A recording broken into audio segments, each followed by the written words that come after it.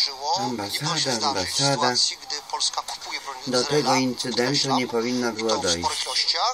Polska inaczej niż szereg krajów Europy Zachodniej jest bardziej otwarta na argumenty Izraela, gdy chodzi o politykę międzynarodową i często głosuje bardziej proizraelsko na międzynarodowej niż y, kraje tzw. starej Unii, kraje piętnastki, kraje Europy Zachodniej. W obecnej sytuacji Tak, tak. Tam nie lubią Izraela, a tutaj to wiesz, tak, tak na nie luzie jest po amerykańsku, bo tu oni chcieli tę. Amerykę, Martusia, PiS 15 marzy o. USA, Mam Londynie, wrażenie, że Anglo. Izrael I powinien zweryfikować swoje podejście do Polski to szybko. My jesteśmy już. Nie ma już komunistów. Polska istnieje, ma swój niezależny rząd i własną politykę, a historię mamy wspólną. Prawo i Sprawiedliwość zapowiada determinację w dążeniu do prawdy historycznej i zamierza prowadzić w tym zakresie odpowiedzialną politykę, zapewnia poseł tego ugrupowania Dominik Tarczyński. Mój dziadek był nazywany bandytą przez komunistów. Ja nie chcę, żeby mój syn był nazywany faszystą, współpracownikiem Niemiec. Nie możemy sobie na to pozwolić. To jest problem, który musimy rozwiązać, bo on będzie rzutował na przyszłe dziesięciolecia, na przyszłe pokolenia. Poseł PiS zaznacza jednocześnie, że do właściwego dialogu potrzeba wyciszenia emocji. Michał Walczyk, Polskie Radio 24. Braćmi. Tymczasem Muzeum Polaków Ratujących Żydów imienia rodziny Ulmów w Markowej zaapelowało o rzetelny przekaz dotyczący roli placówki i tragicznych losów jej patronów. W opublikowanym na stronie internetowej oświadczeniu napisano, że powielane są błędne informacje o rodzinie Ulmów, jakoby zostali sprzedani do stawu przez sąsiadów przy udziale strażników z polskich urzędników. To cytat z amerykańskiego czasopisma Politico, a zdaniem badaczy Ulmów zdradził prawdopodobnie granatowy policjant Włodzimierz Leś. To samo czasopismo zarzuca muzeum, iż dąży ono do prezentowania Polaków jako narodu ratujących. Tymczasem, jak czytamy w oświadczeniu, statut muzeum wyraźnie precyzuje zadania tej placówki, którym jest ukazywanie historii ratowania Żydów przez Polaków podczas II wojny światowej, polsko-żydowskich relacji w czasach Holokaustu oraz upowszechnianie wiedzy o losach rodziny Ulmów z Markowej. Politico na swojej stronie już zamieściło sprostowanie odnoszące się do swojego tekstu. Północ, południe. Program informacyjny Polskiego Radia 24. A my już teraz zmieniamy temat. Polscy skoczkowie narciarscy zajęli w Pjongczangu trzecie miejsce w konkursie drużynowym Igrzysk Olimpijskich. To pierwszy w historii medal dla Polski w tej konkurencji, a więc w skokach drużynowych.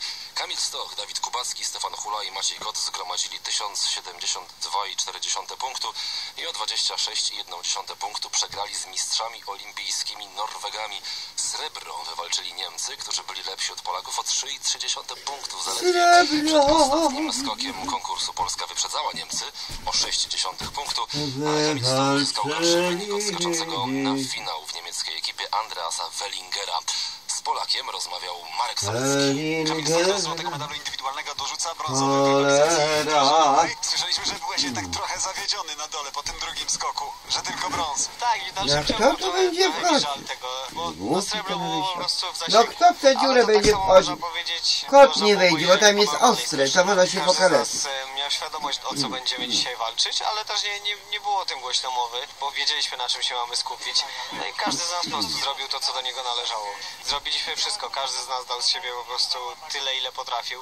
Zasłużyliśmy na ten medal. To jest dzisiaj historyczny dla nas moment i też pokazuje tego zespołu. Zasłużyliście Na medal, bo to było 8 dobrych skoków. Cała czwórka skakała bardzo, bardzo dobrze. Potrzeba dzisiaj było takich dzisiaj te zawody były naprawdę bardzo, na bardzo wysokim poziomie i tutaj nie można sobie pozwolić na, na totalnie zepsuty skok, no bo automatycznie się wypada po prostu z gry. Ale cieszę się, że walczyliśmy do samego końca, do, ostatniej, do ostatniego skoku i do ostatniej setnej sekundy po prostu lotu. Norwegowie dzisiaj wygrali. E, Norwegowie prowadzili od początku, ale był ten moment po pierwszej serii, po tym czwartym skoku w konkursie, że wydawało się, że i nawet walka o złoto jest realna, ale później Tande poszybował bardzo daleko. No, Norwegowie tutaj skakali od początku igrzysk bardzo, bardzo... Norwegowie tu skakali. Uważam, że każdy dzisiaj zdobył to, na co, na co, na co zasłużył. Co państwa. Norwegowie Tu skakali. Dziś Dawid Kubacki, który w pierwszej serii znacznie zmniejszył dystans do Niemców, a w drugiej części utrzymał minimalną przewagę Kubacki przyznał w rozmowie z Markiem Soleckim, że bardzo przeżywał ostatnie skoki Andrasa Wellingera i Kamila Stocha. Dawid Kubacki, wielkie gratulacje. Brązowy medal w konkursie drużynowym po walce, która dostarczyła wielu emocji. Dziękuję bardzo. No jak najbardziej. Ta, ta walka była, była do samego końca i była emocjonująca. czekaliśmy jaka tam się cyferka pokaże po skoku Kamila, bo wiedzieliśmy, że tam jest, e, jest blisko, jeżeli chodzi o walkę o srebrny medal. Ale wywalczyliśmy brązowy i też się z tego bardzo cieszymy, bo, bo mamy medal olimpijski. To nie jest coś, co można zdobyć e, od tak i na co dzień. Ja się bardzo cieszę, że mogłem być częścią tej drużyny, która, która właśnie na ten medal walczyła. Nasze myśli Osiem człowiece. dobrych, bardzo dobrych, wręcz chwilami świetnych skoków. To pozwoliło stanąć na No dokładnie i to jest coś, co myślę, że da, takiego bardzo pozytywnego kopa do dalszej pracy, bo na pewno nam trener o tym przypomni, że jeszcze, jeszcze mamy sporo do popracowania, ale na pewno jest to też wynagrodzenie tego wszystkiego, co zrobiliśmy do tej pory, nie tylko dla nas, dla, dla tej czwór- czwórki zawodników, e, ale dla całego sztabu, dla trenerów, dla serwismenów i całej grupy wszystkich ludzi, którzy z nami pracują i oni też na ten sukces, że tak powiem, przyłożyli swoją cegiełkę, więc im też bym chciał w tym miejscu serdecznie podziękować za to, bo, bo sami byśmy tego nie osiągnęli. Norwegowie byli poza zasięgiem jednak. Pierwsza seria pokazała, że tak nie do końca, bo jednak deptaliśmy im po piętach. No ale to jest sportowa rywalizacja i, i wyszło jak wyszło. Ja się bardzo cieszę, że wyjedziemy stąd po prostu z medalem, bo to jest myślę marzenie każdego z nas. Medal olimpijski to jest coś, co nie wiem, ja, ja tego jeszcze tak do końca nie, chyba nie, przy, nie przyswoiłem. W głowie to jest y, na razie tak, na razie tak jest, bo jest, ale nie wiem co z tym zrobić, a będzie, będzie potrzeba troszeczkę czasu, żeby to naprawdę przyswoić tą wiadomość. Nie umiem opisać teraz swoich uczuć, bo jest to dla mnie ciągle, wiem, że to zrobiliśmy, ale jeszcze to do mnie nie dotarło. No, dziękujemy panowie za te emocje. Podkreślmy, że to drugi medal reprezentacji Polski w Pjongczangu po złocie wywalczonym przez Kamila Stocha w turnieju indywidualnym na dużej skoczni. Skoczkom pogratulował m.in. prezydent Andrzej. Wziąć bawawajkę. Chciałabym dziękujemy i do gratulujemy, ręki napisał na Twitterze i zawrzeć siebie. Tego słowach piosenki. W z Sapporo. we mnie przeżyje.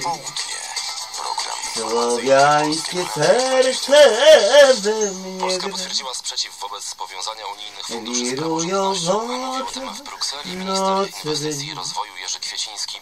O możliwości powiązania unijnych funduszy z przestrzeganiem zasad państwa prawa i niezawisłością sądownictwa A co? Europejska. Bruksela w tej sprawie jest naciskana przez płatników netto, czyli kraje, które więcej wpłacają do unijnej kasy niż z niej otrzymują. Szczegóły Beata Płomecka.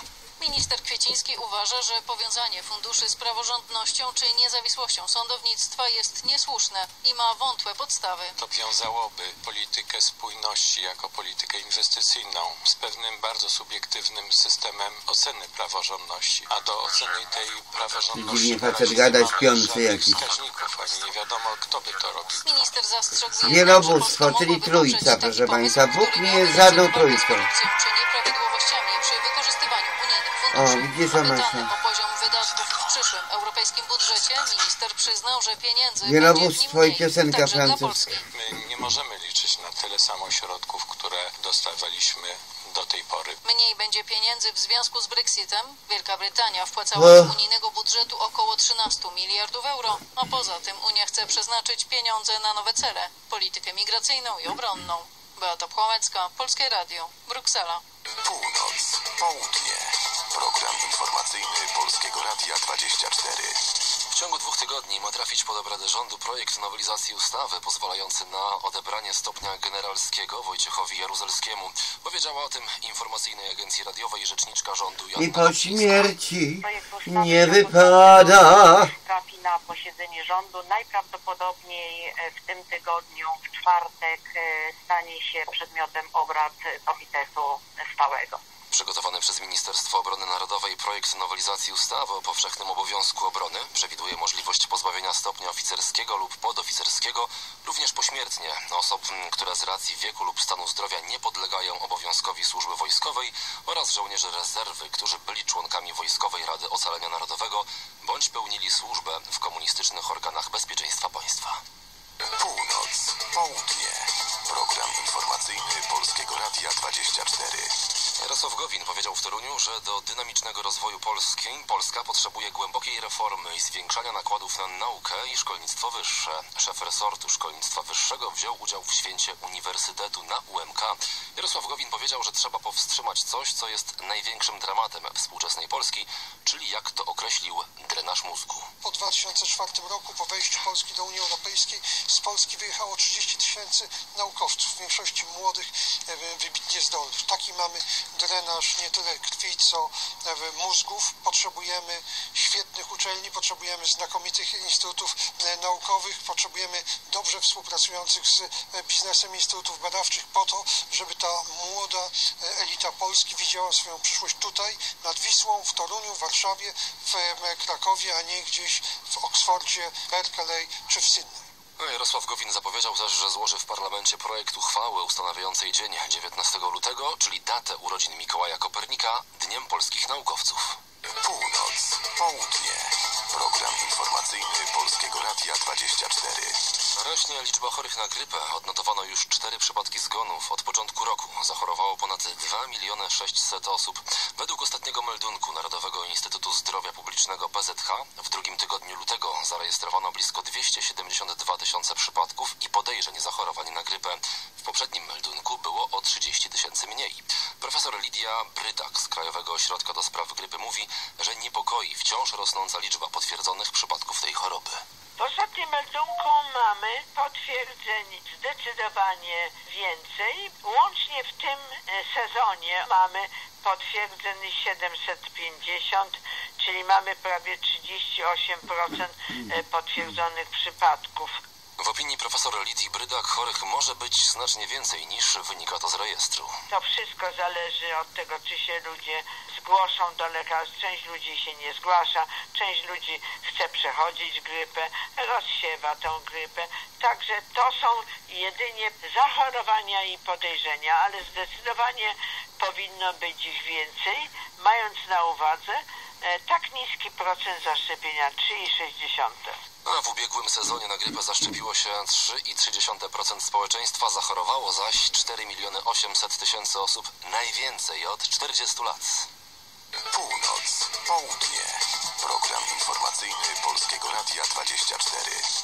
Kino, teatr, literatura, muzyka i niezrównana kuchnia 1 marca w Warszawie, Poznaniu, Krakowie. 24 Radio Cholery Festiwal frankofonii, wydarzenie 24 promujące język i kulturę krajów francuskojęzycznych. O szczegółach reporterka Polskiego Radia 24 Ewa Wasążnik. Festiwal Frankofonii to wydarzenie poświęcone tradycjom i językowi 220 milionów ludzi na świecie. Stanislas Pierre, dyrektor Instytutu Francuskiego w Warszawie, podkreśla, że to także promocja wartości tego kręgu kulturowego. Frankofonii to jest e, nie tylko język francuski, ale to jest ta tolerancja. To chcemy pokazać, jak jest bogata ta kultura. Ambasador Francji w Polsce Pierre Levy uważa, że najlepiej się w niej rozsmakować i to dosłownie. Ja sam jestem wielkim amatorem wszystkiego, co smaczne. E, W związku z tym chciałbym zarekomendować Święto Smaków, które podczas tego festiwalu będzie prezentowało rozmaite smaki z różnych krajów. Sztuką nie tylko kulinarną, literaturą, kinematografią czy teatrem, które będą prezentowane na Festiwalu Frankofonii w Polsce, nie sposób w pełni się cieszyć bez znajomości języka francuskiego. Oczywiście nie sposób nie wspomnieć o samym uczeniu się języka francuskiego. E, Wspomnę o tym, że w Warszawie działa Instytut Francuski, ma też e, swoją delegaturę w Krakowie. Jest 8 ośrodków Alliance Française w różnych miastach. E, W Warszawie jest liceum e, René Goscinny imienia tego e, słynnego współtwórcy albumów Asterixa, e, gdzie również można uczyć się języka i poznać Stypendystka rządu francuskiego Katarzyna Nowak uważa, że warto to robić chociażby ze względu na doskonałe francuskie kino. którego się do końca nie da przetłumaczyć na język polski. Znajomość francuskiego można wykorzystać nie tylko dla przyjemności, lecz także dla rozwoju kariery i zarabiania pieniędzy. Francuzi są dużym też inwestorem w Polsce. E, No ja jestem przykładem e, firmy, która ma właśnie dokładnie inwestora francuskiego i francuski jest nośnikiem innej trochę wrażliwości. E, Przede wszystkim w momencie, gdy e, mówimy w języku drugiej osoby, który jest językiem macierzystym, no to po prostu skraca to dystans też i ułatwia kontakty. Okazja, żeby je nawiązać, nadarzy się już 1 marca. To wtedy zaczyna się w Polsce Festiwal Frankofonii. Ewa Wasążnik, Polskie Radio 24. A nasza stacja, Polskie Radio 24, jest patronem medialnym tego festiwalu. Północ, południe.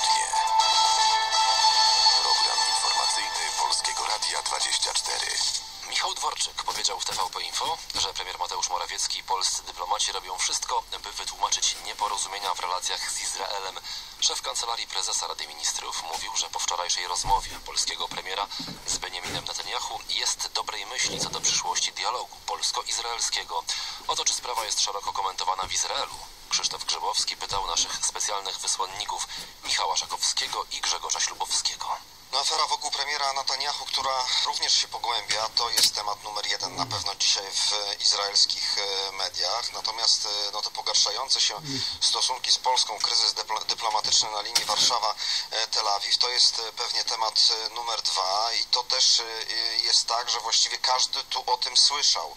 Jeżeli nawet e, rozmawia się z jakimiś przypadkowymi ludźmi na ulicach, to oni sami zadają pytania, co się dzieje na przykład w Warszawie, dlaczego premier powiedział to i to, więc e, Izrael rzeczywiście też w pewnym sensie tym żyje. Co ciekawe, to my tutaj przynajmniej mamy takie wrażenie, że w pewnym momencie na początku to był jedynie problem tych Żydów, których rzeczywiście potomkowie pochodzili z Polski czy w ogóle z Europy Środkowo-Wschodniej i bezpośrednio ten problem Holokaustu ich dotyczy. Natomiast teraz jak rozmawiamy, e, nawet e, tak jak powiedziałem, z przypadkowymi ludźmi, no to wszyscy, wszyscy o tym mówią. To się stał temat taki ogólnoizraelski. No i no nie ma co ukrywać, że oczywiście reakcja i izraelskich polityków, i izraelskich mediów, i Izraelczyków jest bardzo negatywna na to, co e, mówi się w Polsce. Nie zawsze ma to wiele wspólnego z historyczną prawdą. E, no ale nie, no tak jest, że, że, że, że jest to oceniane rzeczywiście krytycznie. A na ile to, co się dzieje, mówię oczywiście o Izraelu, te głosy, o których e, wspominacie, no, na ile rzeczywiście można to zrzucić na karp tej kampanii wyborczej, bardzo ostrej kampanii wyborczej, która e, w tej chwili w Izraelu trwa? To jest po prostu też y, paliwo do atakowania się nawzajem. To, są, to jest amunicja do atakowania się nawzajem. Oczywiście, że jeżeli coś się wydarzy, co, coś się wydarzyło w, w Monachium i słowa premiera Morawieckiego e, zostały natychmiast podchwycone przecież i skomentowane przez Cipi Livni, liderkę, y, główną liderkę opozycji, e, byłą szefową dyplomacji, byłą e, wi- wicepremier, e, kobietę uznawaną przez kilka lat przez różne, różnego rodzaju czasopisma i wp- wpływowe, prestiżowe e, gazety za osobę również wpływową na świecie i bardzo mocną e, kobietę polityk. Także Cipi Livni natychmiast skomentowała to, nazywając y, niedopuszczalnymi, tak zresztą jak i premier. A dlaczego premier to zrobił? No premier dlatego zrobił, że liderka opozycji tak powiedziała. Do tego dołączył się e, Jair Lapid, którego partia jest według sondaży Jerusalem Post, najnowszych sondaży e, tej gazety, jest na, byłaby na drugim miejscu, gdyby odbyły się dzisiaj wybory no to, to widzimy, że e, słowa, które e, wzburzają tych polityków, wzburzają ich również z politycznych względów, dlatego że w ten sposób oni mieszają na tej tutejszej scenie politycznej. Także e, to w ten sposób się przekłada. E, tak jak nam też mówił tutaj w rozmowie Tom Segev, wybitny historyk, dziennikarz, pisarz właściwie można powiedzieć, który e, w niezwykle barwny, ale też i szczegółowy sposób opisuje historię współczesną Izraela, mówił nam o tym, że w Izraelu e, manipulacja na przykład Holokaustem, wydarzeniami Holokaustu, nazwą Holokaust,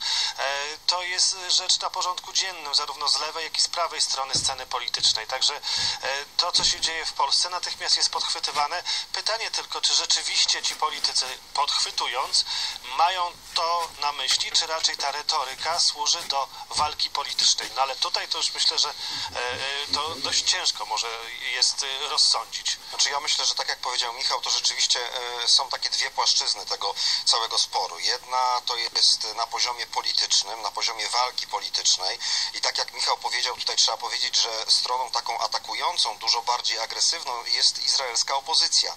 To zwykle politycy izra izraelskiej opozycji wrzucają te tematy związane Czyli to można powiedzieć lewica. Nie tylko lewica, nie tylko lewica, no bo Cipi Livni to te, też jest partia jakby e, no, no nie lewicowa, prawda? E, Natomiast e, to jest jeden poziom tej, tego całego sporu. Natomiast drugi poziom, to co też Michał mówił, co jest bardzo ważne, to jest w ogóle stosunek Izraelczyków do Holokaustu. Znaczy trzeba sobie zdać sprawę z e, ogromnego, jakby ogromnej wagi Holokaustu w Izraelu. No, to jest taki, Przestań. można powiedzieć, wydarzenie, które jest mm, do, dowodem na to, że musi funkcjonować państwo Izrael. Państwo Izrael funkcjonuje dlatego, jak e, od początku, że tak powiem, e, twierdzili izraelscy politycy, uprawiając zresztą bardzo e, agresywną politykę historyczną, dlatego, że był Holokaust. I teraz każda wojna na przykład e, z, z, z Arabami jest e, też e, definiowana w tym sensie, że jeżeli nie będziemy się bronić, to będzie nas czekało to, co było, czekało Żydów w Europie e, Wschodniej, czyli Holokaust. Więc tym jest usprawiedliwiane właściwie wszystko. No i teraz dochodzi tutaj w tym momencie na, na, na, na, na zasadzie tego sporu z Polską coś takiego, co oni interpretują jako właśnie no, rewizję Holokaustu. Dlatego, że w Izraelu oczywiście mówi się o sprawcach żydowskich, mówiło się też o tym już od lat 50., ale nie ma równowagi między sprawcami żydowskimi a tak sprawcami e, czy, czy kolaborantami z Rosji, czy, czy z Ukrainy. To jest nie do Hitlerek lata po całej Europie. że e, no, tak jak e, tłumaczą właściwie wszyscy, bo wczoraj też byliśmy w Jerozolimie, w Yad Vashem, Nie daj Boże. czyli w tym ogromnym e, muzeum, e, które powstało jakby jako Szukaj no, pamiątka Holokaustu. tego co się stało i taki też przestroga tego co się stało. I tam również e, rozmawialiśmy z historykami, e, którzy tam są uznawanymi za autorytety w całym Izraelu, m, związanymi właśnie z, z Holokaustem i oni nam też mówili, że nie można tego porównywać, że porównywanie tego jest no, grzechem, błędem, jest niedopuszczalne, oni się na to nie zgadzają. I to, z czym mamy w tej chwili do czynienia, to jest właśnie taki efekt takiej śnieżnej kuli, że już nie wiadomo tak naprawdę o co chodzi, jakie to były te fakty, no ale jeżeli Polacy negują Holokaust, jak oni tutaj interpretują, no to wszyscy, wszyscy, wszystko jedno skąd, czy jesteśmy, pochodzimy z Jemenu, czy nasi rodzice, nie wiem, przyjechali z Iraku, czy jesteśmy Kurdami, to nie ma znaczenia. Czy wszyscy musieli wystąpić przeciwko właśnie negowaniu przez Polaków Holokaust. Ja, ja, ja się nie zdziwiłbym nawet, gdyby doszło do czegoś takiego, że opozycja zawsze zacznie wzywać do bojkotu na przykład towarów z Polski, albo do bojkotu wyjazdów e, do Polski. Bo I do bojkotu towarów z Polski. na zajęcie coraz bardziej twardego stanowiska pomiędzy opozycją a partią rządzącą? To znaczy, ja myślę, że może nie licytacja, ale bardziej tutaj jest znalezienie się w szeregu i nieodpuszczenie e, słowa komentarza w sytuacji, kiedy rozmawiamy o Holokauście. I tak jak Grzegorz mówi, e, to jest tak, że e, ta sprawa dotyczy wszystkich. Przecież Izrael to kraj imigrantów, kraj różnych Żydów z różnych stron świata. W związku z tym, w tym ocenianiu słów padających na zewnątrz o Holokauście muszą uczestniczyć wszyscy, dlatego że to jest wspólna sprawa. W związku z tym, tu ja bym nie mówił o licytacji, ale też, jak Grzegorz zwraca uwagę, kwestia tego bojkotu no, może być i zarówno i wydarzeniem politycznym, jak i gospodarczym. bojkotu. No i tymi pytaniami niestety musimy zakończyć. Musimy Śródkowski, zakończyć. Żakowski, specjalni wysłannicy Polskiego Radia e, do Izraela. Bardzo dziękuję. Dziękuję. A rozmawiał Krzysztof Grzybowski. W Polskim Radiu 24 sprawę tę komentował Bronisław Wildstein, publicysta tygodnika sieci i członek zespołu do spraw dialogu prawno-historycznego z Izraelem. Gospodarzem programu był Piotr Wąż. Chciałbym zacząć od pytania o to, jak pan rozumie to stanowisko Instytutu Yad Vashem? No, z jednej strony można powiedzieć, że ono jest pra- Jad Vashem, Jad Vashem. którzy są zmuszeni pod groźbą utraty życia swoich i swoich najbliższych do różnych działań z tymi, którzy podejmują je dobrowolnie. No, to jest Jad Vashem. w tym kontekście. Szem, szem, jadwa. e, w, w, w jakim to się odnosi jakoby do wypowiedzi e, premiera Morawieckiego, no to, to, to traci swój elementarny sens, bo samo sformułowanie jest słuszne, tylko że premier Morawiecki nie powiedział, że e, prawda, że, że Żydzi współpracowali, byli uczestnikami Holokaustu samej zasadzie co Niemcy. Nic takiego nie powiedział. Powiedział, że również tam zdarza On tego nie powiedział. Nie denerwujcie go. i tak należy rozumieć jego wypowiedź. Zresztą następne zdanie, po tym jednym, jedynym, które jest ciągle cytowane, a, a, elementarna yy, zasady analizy nie pozwalają wyrywać zdanie z kontekstu, tylko każą rozumieć je w całości, przecież obozy e, śmierci i ta fabryka cała śmierci była stworzona przez Niemców. I to, o tym trzeba pamiętać. Czy to jest Pana zdaniem oznaka braku dobrej woli, o której mówią e, niektórzy? Bo niezależnie od faktów, które przytacza premier Mateusz Morawiecki, one spotykają się no, z całkowitym niezrozumieniem po stronie izraelskiej. To nie tylko, po pierwsze nie tylko po izraelskiej. Po trzecie, mogę, nie tylko po się, no. Polski, w Polsce już czytaliśmy ile... Może... Coś mi powiedział.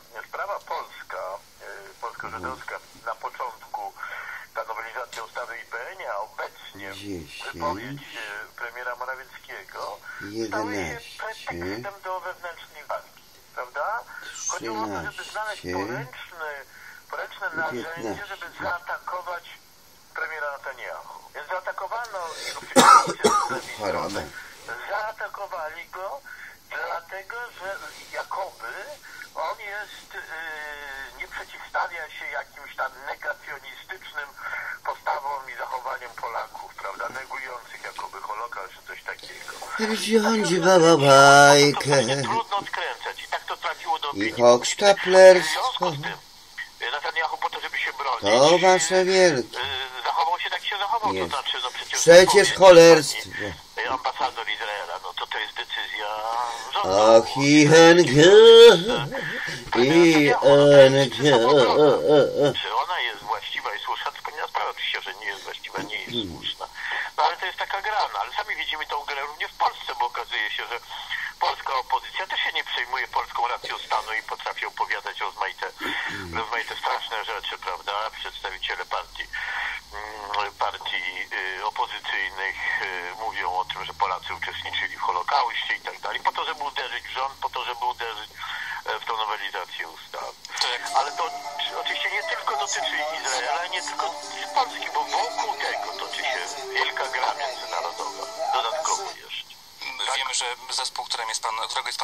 jest właściwie gotowe do wyjazdu do Izraela. Czy są jakieś e, sygnały, ewentualnie odpowiedź z tej drugiej strony, gotowość do rozmów?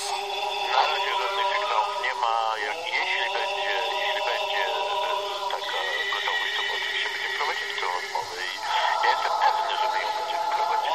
Bardzo panu dziękuję za ten komentarz, za tę wypowiedź. Naszym gościem był pisarz i publicysta i członek zespołu do spraw dialogu prawno-historycznego z Izraelem. 1958 rok, ja się rodziłam wtedy.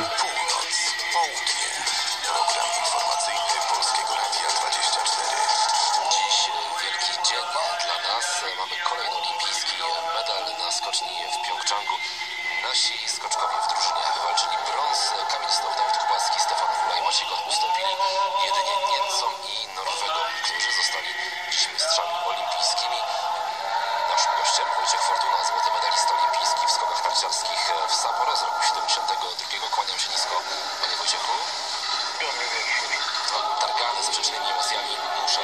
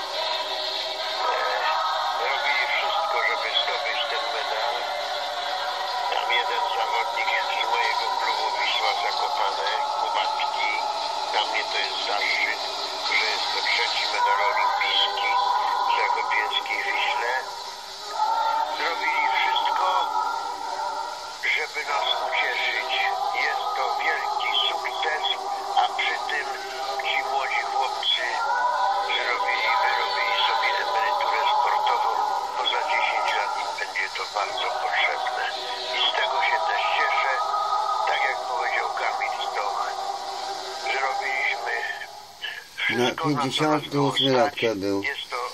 Papież był nawet w Anglii, w Ameryce Białystok. Dla, dla naszej ekipy mamy dwa medale olimpijskie, powinniśmy się z tego cieszyć. Tak, Ameryka Białystok, cienny.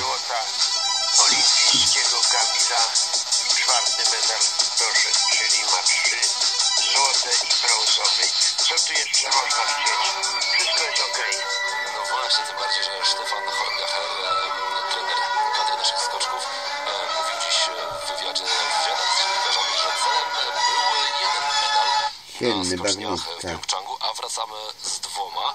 I trzeba też powiedzieć, no, że mimo ogromnych apetytów na większą ilość tych medali, dwa medale na e, No, Igrzyskach piękno, Olimpijskich, dobra, to jest to już wyrównanie trzeciego najlepszego e, wyniku w historii Igrzysk Zimowych, jeśli mowa o występach naszych reprezentantów. E, Więcej zdobywaliśmy tylko w Soczi i Vancouver po sześć medali.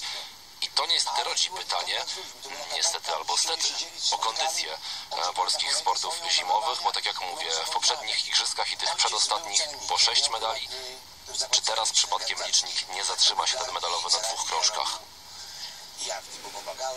No trzeba by było się zastanowić. Alleluja, alleluja.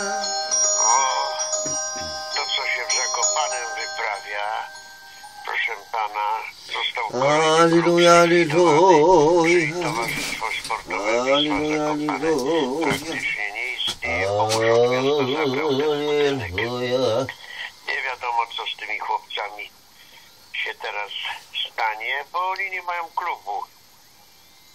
Ale to już jest temat na inny dzień. Ja cieszę się z tego, co jest i myślę, że dla naszych skoczków olimpiada była udana. Ja sam miałem większe apetyty, bo stawiałem na średniej skoczni. No nie wyszło ze względów Alleluja, alleluja. skoczkowie. Alleluja, alleluja. Aha, aha, aha. Piąte.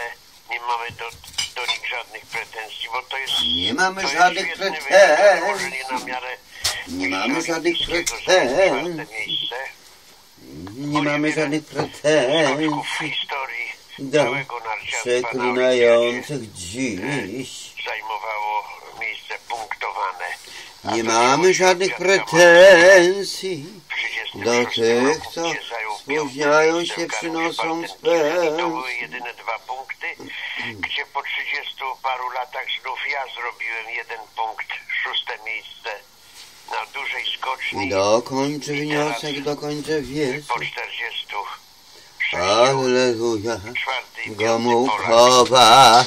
No właśnie, między 70... Mogły być medale, tak. mogły być medale olimpijskie na średniej skoczni, no ale to już, to już poszło w eter, nie było niestety.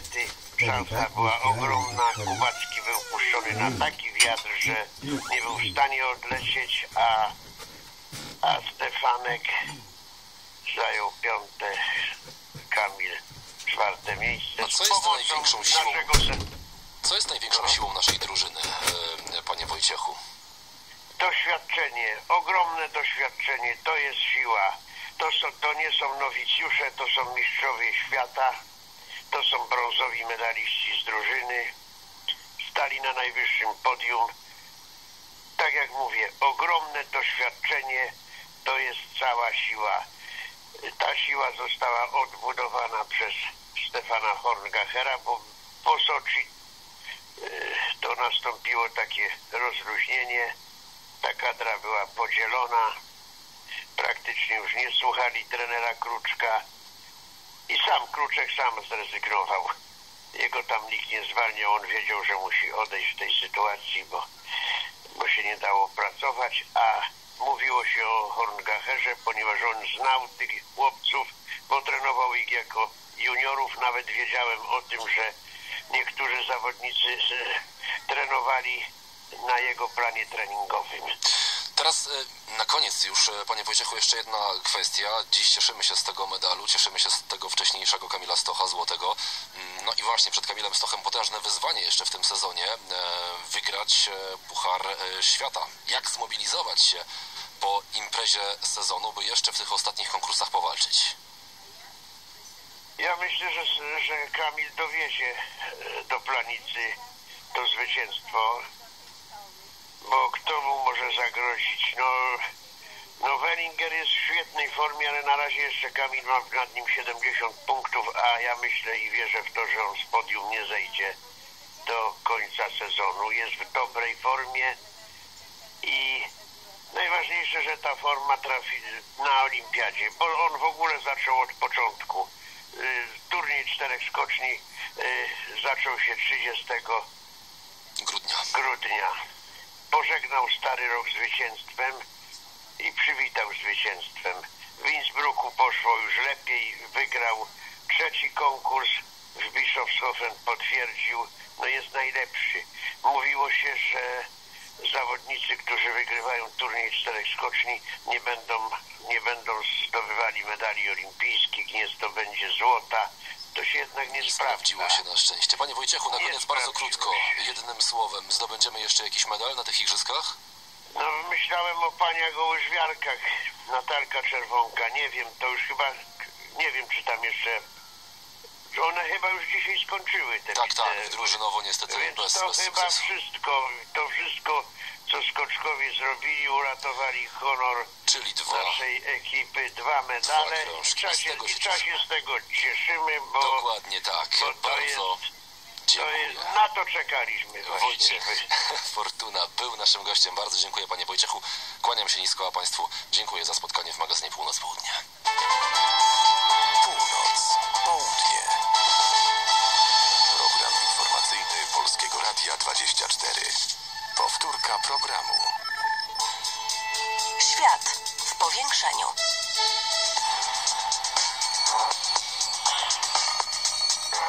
Przy mikrofonie Adrian Bąk zapraszam na magazyn międzynarodowy. Dziś w magazynie jeszcze echa konferencji bezpieczeństwa w Monachium i sprawa drugiej nitki gazociągu północnego Nord Stream 2, który wciąż dzieli Europę. Podczas spotkania w Niemczech nie doszło do porozumienia między Polską a Niemcami właśnie w sprawie budowy gazociągu. Angela Merkel, kanclerz Niemiec, podkreśliła, że Nord Stream 2 jest projektem gospodarczym i nie zagraża e, bezpieczeństwu e, Europy. Tymczasem, jak podaje portal Business Alert, a do tego medium odnosimy się nieprzypadkowo, Dania bada, czy Nord Stream 2 nie jest sprzeczny z duńską polityką zagraniczną i bezpieczeństwa. Eksperci ostrzegają, że sporny projekt może zostać wykorzystany do działań szpiegowskich przez Rosję. Podobne obawy zgłaszali wcześniej szwedzcy wojskowi. Do krytyki wobec planów budowy gazociągu znów włączyła się Litwa. Czy batalia o Nord Stream 2 wybuchnie na nowo i co dalej z unijną nowelizacją dyrektywy gazowej, którą wielu przeciwników gazociągu traktuje jako ostatnią szansę? O tym dziś porozmawiam z Piotrem Stępińskim z portalu biznesalert.pl. Dobry wieczór. Dobry wieczór. No to zarzuciłem pytaniami zarówno słuchaczy, jak i pana. Ale wróćmy jeszcze do e, tej konferencji bezpieczeństwa w Monachium. Ten brak porozumienia, czy też rozbieżne stanowiska między Polską a Niemcami, to oczywiście było do przewidzenia. Trudno oczekiwać, że Niemcy zmienią zdanie co do budowy mm, gazociągu. E, czy, ale czy to jasne stanowisko Niemiec e, oznacza, że w sprawie Nord Stream 2 ze strony Niemiec no już nic nie ma prawa się zmienić? Znaczy powiem w ten sposób, e, stanowisko Niemiec względem projektu Nord Stream 2 jest dosyć znane, ponieważ e, wspierają, wspierają ten projekt, uważają, że jego realizacja jest ekonomicznie uzasadniona. Jest to przede wszystkim gospodarczy projekt, a nie tak jak reszta Europy, zwłaszcza Europa Środkowo-Wschodnia, która e, zarzuca temu projektowi upolitycznienie, tym bardziej, że jeszcze niemieckie spółki są zaangażowane w realizację tego projektu, także stanowisko Berlina e, w tej kwestii, w tej kwestii nie powinno zupełności, zupełności dziwić. A czy to jasne stanowisko Angeli Merkel nie wzmocni tej, e, szczególnie właśnie po konferencji bezpieczeństwa w Monachium, tej rosyjskiego, tego, tego, tego rosyjskiego stanowiska e, w Europie? No bo stanowisko kanclerz Niemie- Niemiec nagłaśniały po tej konferencji rosyjskie agencje prasowe, no a Moskwa wręcz promowała projekt na, na samej konferencji Monachium. Tak, e, kanclerz Angela Merkel była wcześniej też przeciwna temu, aby Komisja Europejska uzyskała mandat do prowadzenia rozmów w imieniu Unii Europejskiej na temat państw członkowskich Unii Europejskiej na temat e, podstaw prawnych dla tego, dla tego projektu. Rosjanie starają się za wszelką cenę przekonać nieprzekonanych, że jest to projekt czysto ekonomiczny, nie zagrażający dywersyfikacji w żaden sposób, no bo przecież e, Ukraina jest niestabilnym państwem, no tylko przypominajmy, kto odpowiada za tą niestabilność, niestabilność Ukrainy. I w tym kontekście też przywołałem ostatnią wizytę e, premiera Morawieckiego w Niemczech, gdzie rozmawiał między innymi z, Angela, znaczy z Angelą Merkel między innymi na temat e, gazociągu Nord Stream 2 i przypomniał to w kontekście, w kontekście Ukrainy. Berlin powiedział, że jest za realizacją tego projektu pod warunkiem, że e, tranzyt e, rosyjskiego gazu przez terytorium Ukrainy zostanie utrzymany i podobną, e, podobną e, deklarację złożył jeszcze, jeszcze obecny minister spraw zagranicznych w Republiki Federalnej Niemiec Zygmunt Gabriel, który też powiedział, że Nord Stream 2 ma poparcie, jeżeli zostanie utrzymany tranzyt gazu przez Ukrainę. Tylko o w tym kontekście warto byłoby zauważyć, że to jest trochę kruche zapewnienie ze strony Niemiec. Ale z drugiej strony chyba po raz pierwszy padło tak wyraźnie słowo Ukraina, chociażby ze strony kanclerz Niemiec, która rzeczywiście powiedziała podczas tej konferencji, że Niemcy też są za dywersyfikacją energii i chcą, aby Ukraina właśnie również miała dywersyfikację gazu, dają do zrozumienia, że ta dywersyfikacja gazu jest e, niezagrożona.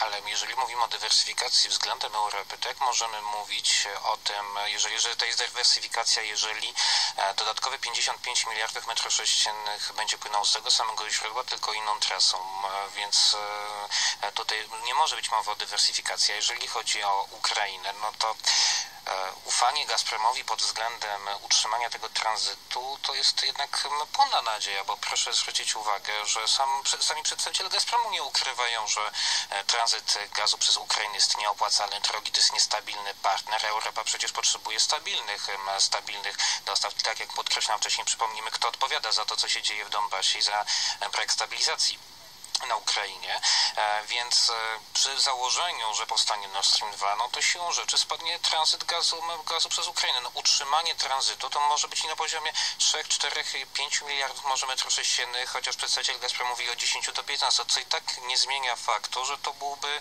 e, śmierć ukraińskich, e, ukraińskich gazociągów, jeszcze większa destabilizacja Ukrainy. Także ufanie Gazpromowi proponowane przez Niemcy taką ugodę między, między Unią a Rosją właśnie przy zatrzymaniu minimalnego wolumenu tranzytu no, jest troszeczkę kruche i można mieć duże wątpliwości co do tego, czy Rosjanie by się wywiązali z takiego porozumienia. Czy Niemcy nie zdają sobie sprawy, czy ten interes ekonomiczny jest na tyle duży, że jakby przesłania tą warstwę geopolityczną? Znaczy z jednej, z jednej strony Niemcy mówią, że to jest projekt ekonomiczny, ale z drugiej też przekonują, że nie możemy porzucić e, Ukrainy, ważne państwo e, tranzytowe, więc e, upieczenie dwóch pieczeni na jednym, na jednym ogniu. Niestety projekt, projekt Nord Stream 2 jest projektem politycznym, to trzeba powiedzieć, powiedzieć jasno. E, uzasadnianiem ekonomicznym tym, że dodatkowo będziemy, e, Rosjanie chcą nam sprzedać, e, sprzedać gaz, jest tylko próbą uzależnienia Europy, a zwłaszcza Europy Środkowo-Wschodniej. Jeszcze słowo o kazusie Danii, bo jakiś czas temu Dania przyjęła ustawę dopuszczającą możliwość zablokowania no, właśnie planowanego przebiegu rosyjskiego gazociągu Nord Stream 2 przez jej wody terytorialne i sprawa tego, tej możliwości zablokowania e, wraca co jakiś e, czas. Teraz pojawił się e, też ten wątek, o którym wspomniałem na początku rozmowy, mówiąc kolokwialnie, ale obrazowo wciąż w kontekście Rosji, wątek szpiegowski. To może jakoś namieszać przy realizacji Nord Stream 2? O, to dla małego, dla małego porządku. Dania może zablokować, w tym sensie nie zablokujemy ułożenia tego, ułożenia tego gazociągu. Owszem, przyjęła prawo, które umożliwia jej e, uniemożliwienie ułożenia gazociągu ze względu na sprzeczność z interesem polityki zagranicznej, czy też zagrożenie dla bezpieczeństwa, ale Rosjanie przekonują, że są przygotowani na taki wariant e, przyjęcia, znaczy tego, że Dania uzna ten projekt za niezgodny z jej interesem z polityki zagranicznej czy bezpieczeństwa i przygotowała trasę alternatywną. Tylko, że trasa alternatywna oznacza wzrost kosztów tego projektu, chociaż Rosjanie przekonują, że tak nie jest, to inny kontraktor Gazpromu przy realizacji Nord Stream 2 powiedział wprost, że każda ta zmiana trasy to jest 5% kosztów więcej, więc to prawo nie zablokuje tego projektu, ale może go e, opóźnić, co też jest e, e, korzystne z punktu widzenia realizowanych przez Polskę projektów dywersyfikacyjnych, bo przypomnijmy, Polska chce do 2022 roku, aby powstał gazociąg Baltic Pipe, aby nad polskie wybrzeże docierało 10 miliardów metrów sześciennych rocznie gazu z szelfu norweskiego, co jest rzeczywistą realną dywersyfikacją nie tylko dostaw gazu do Polski, ale także do państw, e, do państw regionu, więc Nord, Nord Stream 2 i de, de facto nasz projekt rywalizują o ten sam, o ten sam rynek gazu, przy czym Nord Stream 2 oznacza polityczne i gospodarcze uzależnienie od Rosji, a nasz projekt dywersyfikacyjny jest rzeczywistą dywersyfikacją i możliwość na zwiększenie niezależności energetycznej nie tylko naszego kraju, ale także państw regionu. I to wszystko w dzisiejszym wydaniu magazynu. Gościem był e, pan Piotr Stępiński, biznesalert.pl. Adrian Bąk, do usłyszenia. Powtórka programu. Autopromocja. Czym jest człowiek? To tom opowiadań Davida Soloya, brytyjskiego pisarza węgierskiego pochodzenia. Książkę uznano za perełkę współczesnej prozy i nominowano do Nagrody Bookera. Tłumacz opowiadań Czym jest człowiek, Jędrzej Polak, będzie gościem audycji Warto czytać w niedzielę o 14.15. Luiza Bebłot, zapraszam.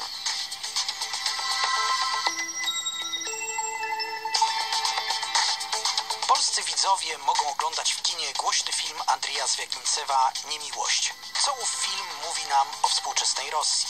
Czy odkłamuje on zjawisko odrodzenia chrześcijaństwa w tym kraju? O tym porozmawiam z Jackiem Chmielewskim, tłumaczem rosyjskiej literatury religijnej. Życie z duszą czy bez? Niedziela, godzina 19.15. Zapraszam, Filip Memches. Autopromocja.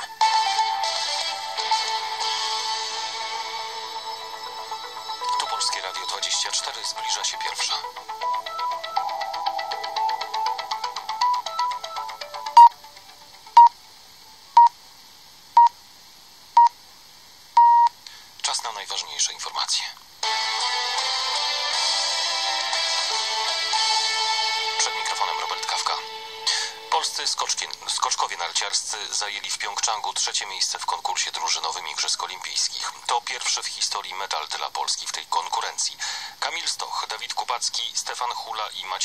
Przegrali z mistrzami olimpijskimi Norwegami. Srebro wywalczyli Niemcy, którzy byli lepsi od Polaków o 3,3 punktu. Bardzo zadowolony był po konkursie czterokrotny medalista olimpijski Adam Małysz. To jest historyczny medal, no. Gdzieś tam e, po skoku Kamila widzieliśmy, że Kamil taki był trochę zawiedziony, bo on wiedział, że do tej linii nie doleciał, ale no, żeśmy mówili, Kamil, medal jest, kurczę, trzeba się cieszyć. No, on do niego to musi dotrzeć dopiero, także gdzieś tam pewnie do niego dotrze, ale, ale jest medal i to jest najważniejsze. To drugi medal reprezentacji Polski w Pjongczangu po złocie wywalczonym przez Kamila Stocha w turnieju indywidualnym na dużej skoczni. W Kołobrzegu przeprowadzono ekshumację ciała posła Sebastiana Karpiniuka, który zginął w katastrofie smoleńskiej. To działania zlecone przez prokuraturę krajową. Przed bramą cmentarza pojawili się protestujący przeciwko ekshumacji przyjaciele i współpracownicy posła. Trzymali transparenty z napisami nie ekshumujcie Sebastiana czy ręce precz od Seby. Apelowali o pozostawienie ciała posła w miejscu spoczynku. Dlaczego się sprzeciwiamy? Po pierwsze dlatego, że ojciec, święty pamięci ojciec, jego ostatnią wolą było, żeby nie wykopywać jego syna. Musimy się tak naprawdę nastawić drugi raz na chowanie Sebastiana, a naprawdę nie będzie dla nas łatwe. Będziemy czekali na, na, na pogrzeb. Musi być potem tutaj przywrócony. Musi odbyć się znowu pogrzeb. Była to 68. ekshumacja przeprowadzona na podstawie śledztwa smoleńskiego. Jego przyczyną były nieprawidłowości w rosyjskiej dokumentacji tworzonej w chwili identyfikacji ciał. Polscy naukowcy pomogą w lądowaniu na Księżycu Marsa. Badacze z Krakowskiej Akademii Górniczo-Hutniczej i Centrum Badań Kosmicznych PAN rozpoczęli realizację projektu, którego celem jest pierwsze lądowanie na Fobosie. Badania polskich naukowców są częścią projektu Europejskiej Agencji Kosmicznej. Polscy naukowcy muszą przeanalizować i wskazać różne warianty budowy nawierzchni satelity Marsa. To wiedza niezbędna, bo przy lądowaniu kluczowy będzie moment zetknięcia się lądownika z powierzchnią Księżyca. Naukowcy zakładają, że przyspieszenie grawitacyjne na Fobosie jest ponad tysiąc razy mniejsze niż na Ziemi. Pole grawitacyjne Fobosa jest niestety bardzo słabe, dlatego też jest bardzo istotne, żeby wylądować bezpiecznie w jednej próbie, natomiast żeby się nie odbił od gruntu Fobosa. Jak tłumaczy dr Katarzyna Cyran z Akademii Górniczo-Hutniczej, lądownik ma pobrać próbki podłoża satelity Marsa. Jak zaznaczają naukowcy, wysyłanie bezzałogowych misji na małe planetoidy będzie w przyszłości służyło rozwojowi górnictwa kosmicznego. Wyobraźmy sobie taką asteroidę całą zbudowaną z platyny. No to myślę, że już byłaby atrakcyjna do tego, żeby ją eksploatować. Siedem lat temu Rosjanie podjęli próbę wysłania sondy na większy księżyc Marsa, ale spłonęła ona w atmosferze Ziemi i nie dotarła na miejsce. Paweł Pawlica, Polskie Radio. Niezależni obserwatorzy i białoruscy politycy opozycyjni skrytykowali wybory do władz lokalnych. Na zwołanej w Mińsku konferencji prasowej mówili, że wybory nie były ani uczciwe, ani wolne, ani demokratyczne. Z Mińska Włodzimierz Pac.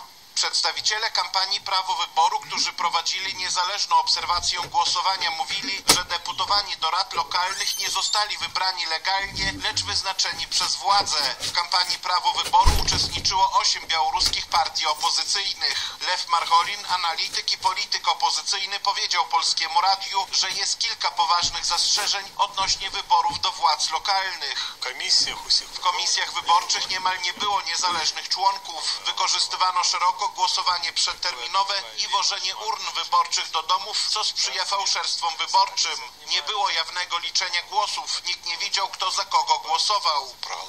Mówił Lew Marcholin. Tymczasem Państwowa Agencja Prasowa Biełta cytowała wczoraj wieczorem przedstawicieli ambasad Rosji i Wenezueli, którzy mówili, że wybory były dobrze zorganizowane i naruszeń nigdzie nie zauważono. Włodzimierz Pac, Polskie Radio, Mińsk.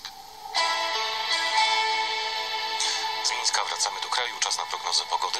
W nocy zachmurzenie duże z większymi przejaśnieniami. Na Suwalszczyźnie miejscami opady śniegu. Tam też marznące mgły, które będą ograniczać widzialność do 100 metrów. Synoptycy ostrzegają mieszkańców południowej Małopolski i Podkarpacia przed silnymi mrozami. Temperatura spadnie nawet do minus 18 stopni. Poza tym na termometrach na wschodzie minus 9, na przeważającym obszarze Mróz. minus 6 do minus 3. Ja pchają Na zachodnim wybrzeżu minus Mróz. 1. Wiatr słaby.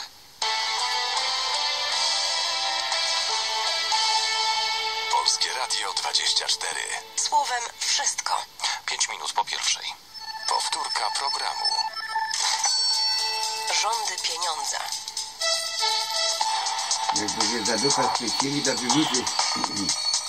Arkadiusz Ekier, Ciąga witam i zapraszam do na naszego programu. Dziś do godziny A 10 rano będziemy te rozmawiali o gospodarce, o finansach, a może też temat. Zobaczymy jak to będzie. Męskie grono dziś w studiu Polskiego Radia 24. Artur Bartoszewicz, Szkoła Główna Handlowa. Dzień dobry, witam Państwa bardzo serdecznie. Łukasz Kozłowski, pracodawcy RP. Dzień dobry. I Paweł Pelc, radca prawny. Dzień dobry, witam Pana i Państwa. Dzień dobry. Y, Panowie, tak y, przed programem zdradzę troszkę y, takiej kuchni. Zastanawialiśmy się, co może zainteresować naszych słuchaczy, jeśli chodzi o gospodarkę i powiem tak, no, gospodarka gospodarką, ale sprawy polityczne, dyplomacja, czy to się wszystko przełoży na, na, na nasze finanse? Y, Nawiązuje do ostatniego weekendu, do wypowiedzi premiera, do reakcji Izraela.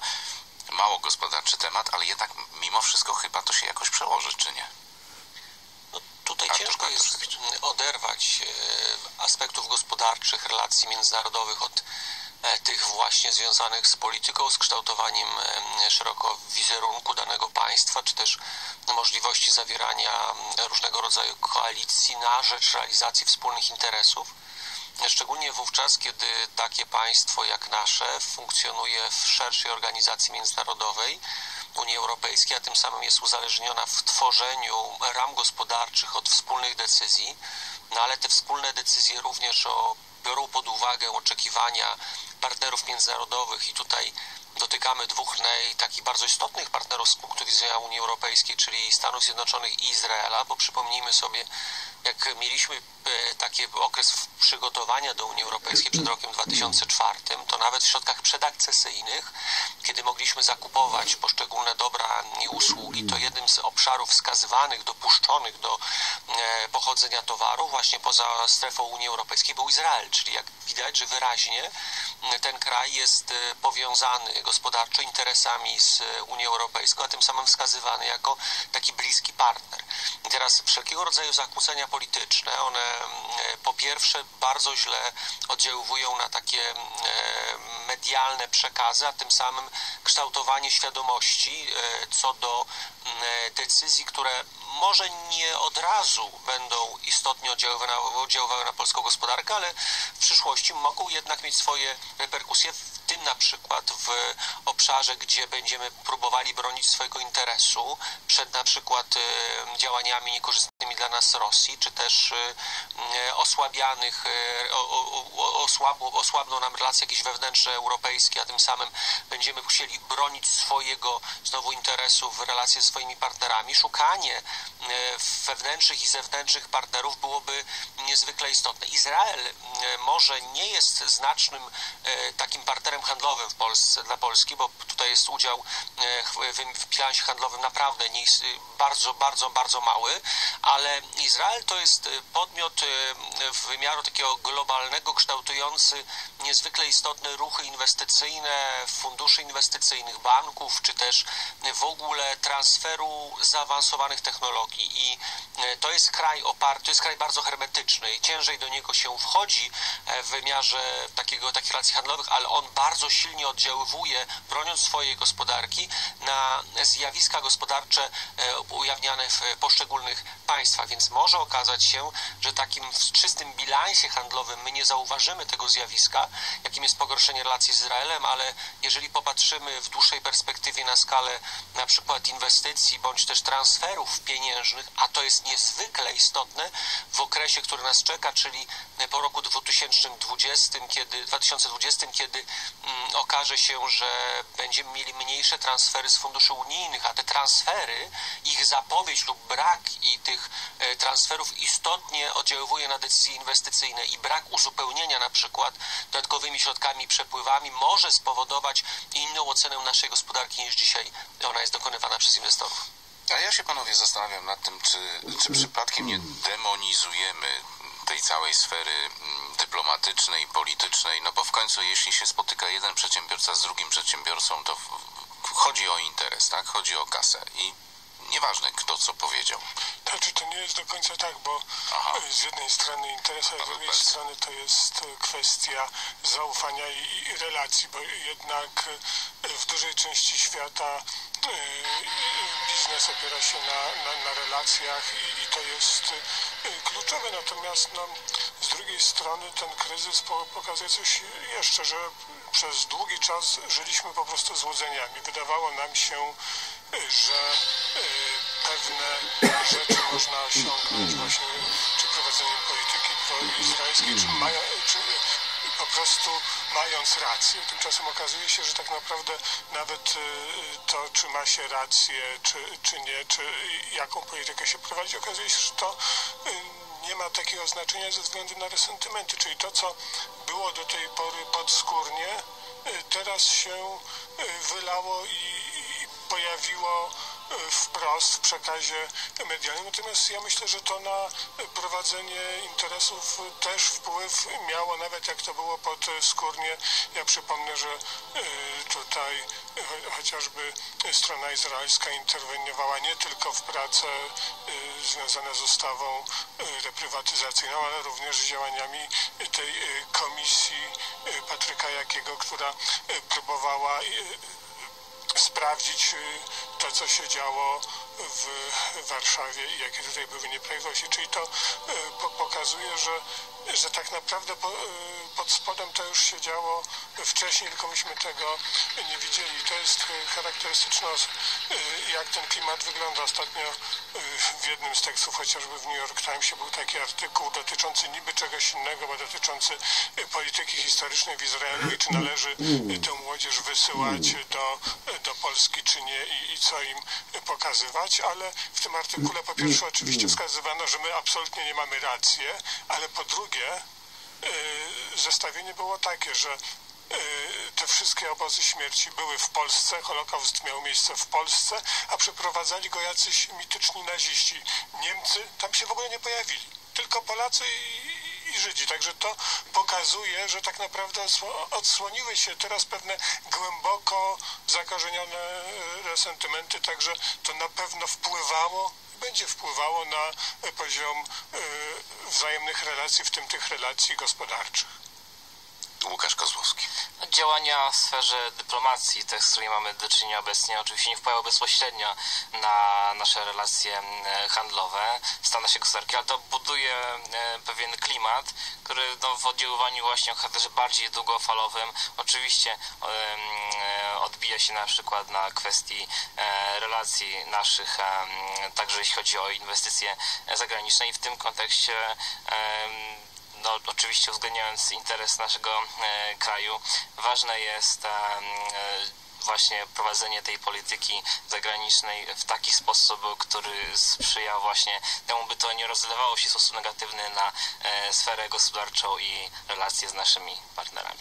No tak, bo tu właściwie nie chodzi tylko w, w tym wypadku o Izrael, prawda? No bo Izrael też ma partnerów. No i y, jak, jak świat reaguje na to, czy my widzimy ten, ten wymiar bezpośrednio w mediach prezentowany ze strony amerykańskiej? No bo e, silne relacje amerykańskie Izraela, de facto zasilanie przez rząd amerykański stały funkcjonowania gospodarki Izraela realnym pieniądzem i transferami, które tam się odbywają. Ale weźmy pod uwagę również oddziaływanie samego Izraela i, i środowisk żydowskich na funkcjonowanie